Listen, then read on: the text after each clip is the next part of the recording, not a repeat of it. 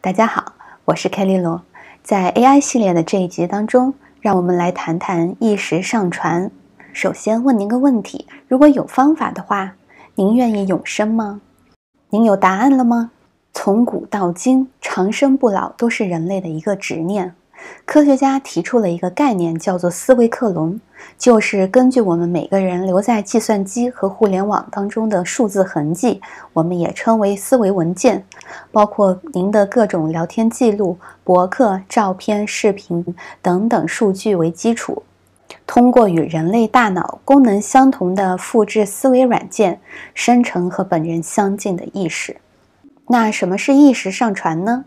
维基百科将它描述为扫描特定大脑底物的心理状态，包括长期记忆和自我，并将其复制到计算机的假想未来过程。您知道世界上第一个做小白鼠的人是谁吗？这个人叫做 Andrew Kaplan，是一个美国作家，以写间谍惊悚小说著称。他被称为世界上第一个虚拟人。在二零一九年的九月二号，七十八岁的 Andrew 成为了首个数字人类。他自愿将意识上传云端，从而得以在云上永生，陪伴他的家人。意识上传必须让受试人知情和同意。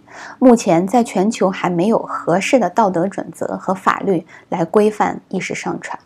我们的一部分是由我们所爱的人和爱我们的人构成的。意识上传实现永生，未尝不是一个可以跨越生死界限与生者保持联系的方式。您认为呢？感谢您的观看。